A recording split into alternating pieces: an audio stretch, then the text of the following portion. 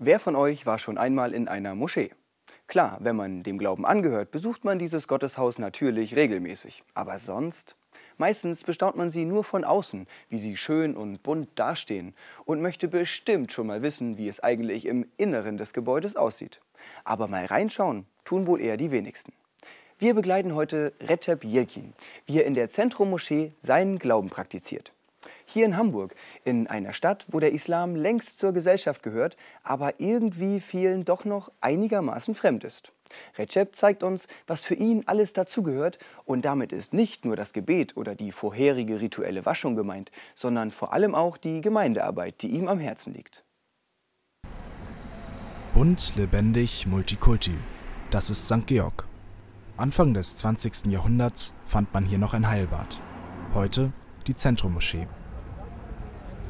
Recep Yilkin ist 23 Jahre alt, studiert Politikwissenschaften und engagiert sich in seiner Gemeinde.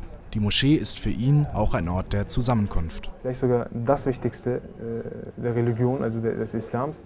Alles beinhaltet immer äh, die, die Gemeinschaft, also das Gebet. Man kommt zusammen.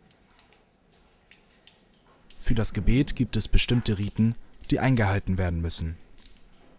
Die rituelle Waschung ist äh, Pflicht für bestimmte ähm, Praktiken, wie zum Beispiel das Gebet. Weil wenn man äh, den Koran, aus dem Koran rezitieren will, muss man die rituelle Waschung vornehmen. Äußerlich macht man sich sauber, aber eigentlich ist es auch eine innerliche und eine spirituelle Waschung.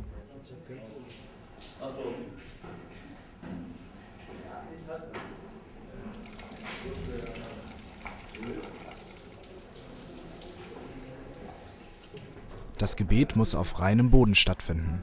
Schuhe werden vor Betreten der Teppiche ausgezogen, Kleidung soll sauber sein.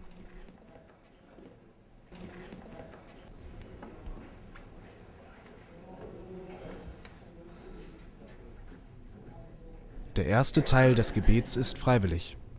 Er beginnt mit dem Ruf des Muizin.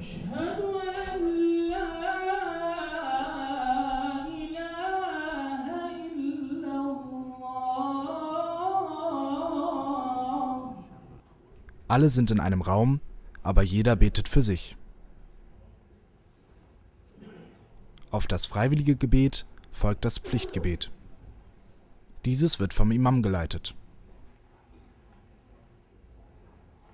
Ganz vorne ist der Imam und ganz hinten ist der Muezzin. Das ist der Koordinator, der koordiniert alles, auch die Gebetsrufe und was auch danach passiert. Und dann fängt halt der Imam an zu beten und man schließt sich dem Imam an. Alles, was der Imam macht, macht die Gemeinschaft hinter ihm halt nach.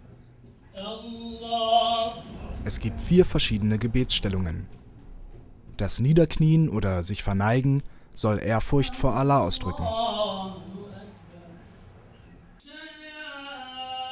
Im Sommer müssen Muslime dafür auch mal um 5 Uhr morgens aufstehen. Denn die Zeit für die fünftäglichen Gebete richtet sich nach Sonnenauf- und Untergang.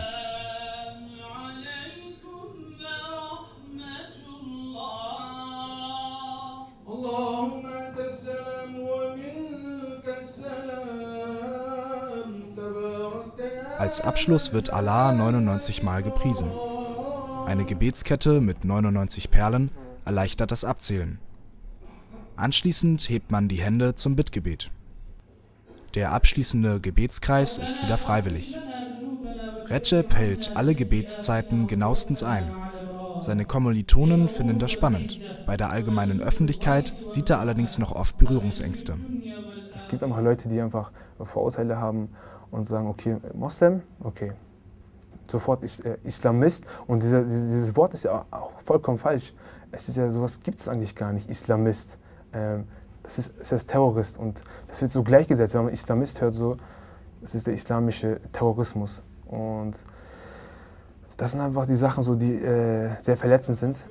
Viele äh, Menschen hat, viele Kulturen und man trotzdem miteinander leben kann. Also ich finde, so sollte es sein. In seiner Freizeit leitet Recep in seiner Gemeinde eine Jugendgruppe. Ein tolerantes Miteinander versucht er auch der nachfolgenden Generation zu vermitteln